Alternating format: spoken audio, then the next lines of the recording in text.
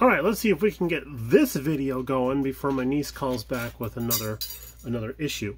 Um, Pro Street. We're working on the Pro Street thing. Uh, the, the Super Bee Coronet.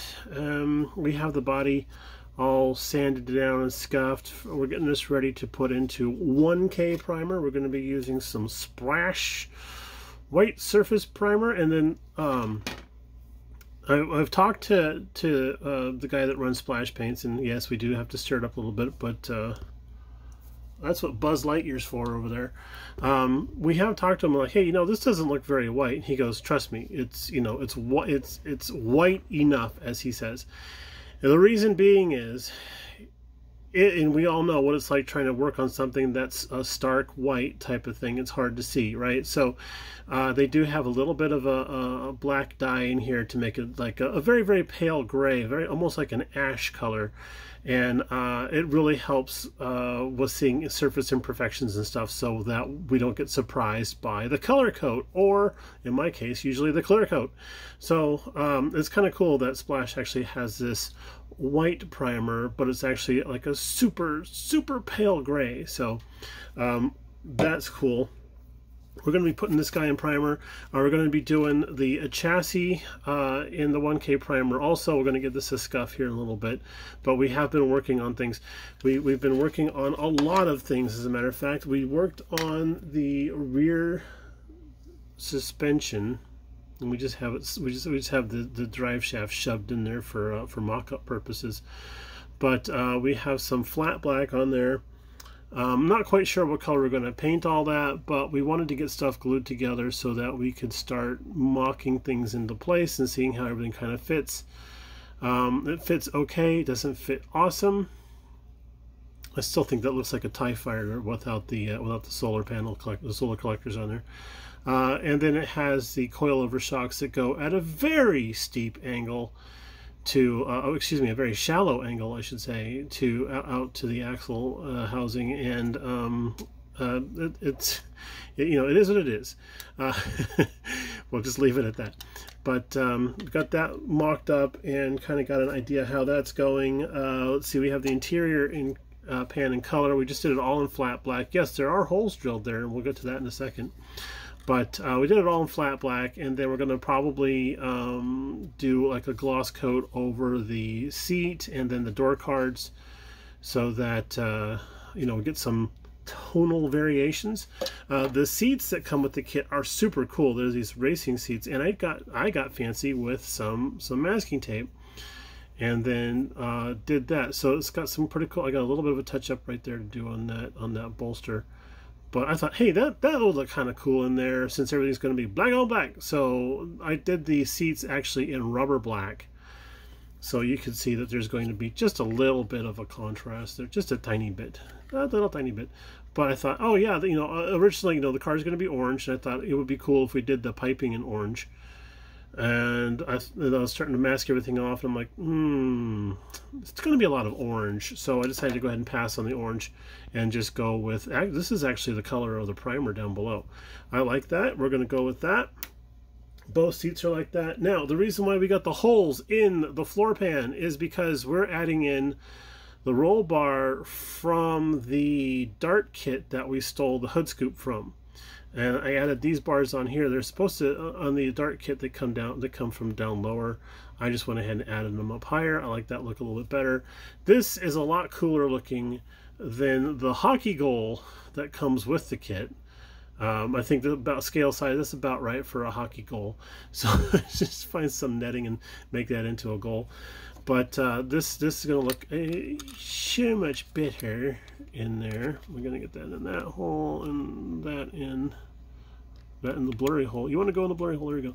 So then, there we go. That's going to be cooler. Now, here's the deal. Reason why I didn't want to do orange on the seats was because I'm going to paint the roll bar body color and then come back and do all the padding on there and stuff. I thought that would look cool. Uh, again, it, it will keep it from getting lost in the in the interior there. So so that's all that. Uh, we have been uh, doing a lot of uh, grinding here.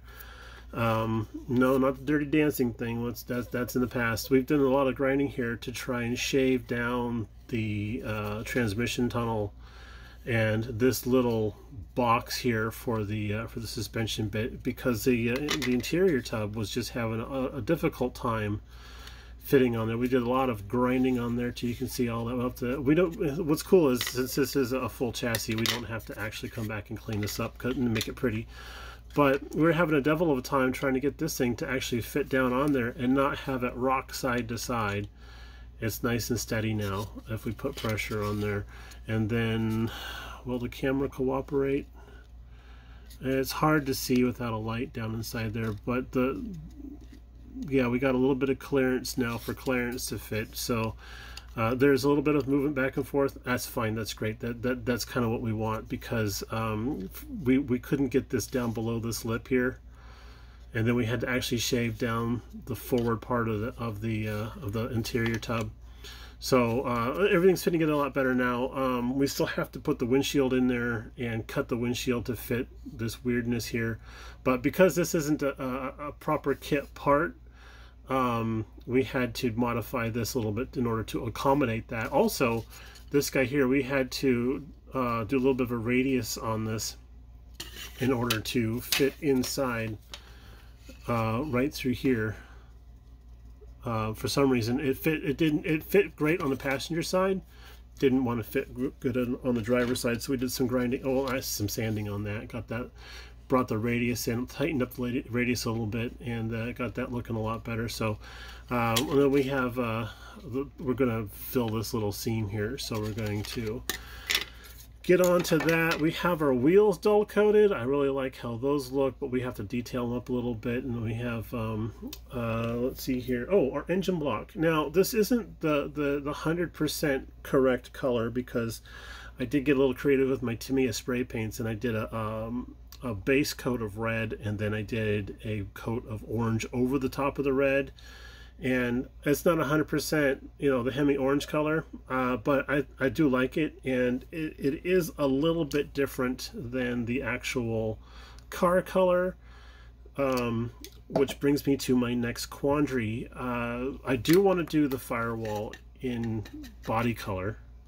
Okay I think that'll look great but the rest of the engine bay uh, these um, the side pieces here um, I think I'll do those in black in maybe a flat black. And then uh, the radiator core support I think that'll be flat black also because otherwise the engine's going to get lost. Uh, we do we did strip the uh, the valve covers. Those are flat black now. We're going to take off those nipples and put in some wiring uh, so that's that's on the horizon. And then we have some very, very cute little coilover shocks for the rear. I'm going to do a touch up on that guy by accident there. But yeah, got some nice little coilover shocks there going for the back. So, you know, we're getting some progress here and there, but it's just not going fast enough. I tell you guys what. But we're going to go ahead and call it quits right now. We're going to get this um, uploaded and, and, sent off into the ether, and uh, we'll talk to you a little bit later on because we're going to be, you know, away from the bench for a little while. So um, wanted to get something, some updates out there, and uh, we are participating in the um, scale creator whatever the heck we well, the Usagi thing uh, and it'll be a video up for that on the 15th uh, which will be this coming Thursday, it looks like. So look forward to that. All right, y'all, uh, take it easy, and we'll catch up with you a little bit later on. Bye.